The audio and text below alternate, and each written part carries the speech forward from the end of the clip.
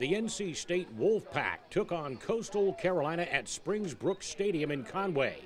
CCU mascot Chauncey mocking the umpires prior to the first pitch, setting down the ground rules at the new park. Trailing 1 0 bottom of the first, Zach Remillard draws a bases loaded walk.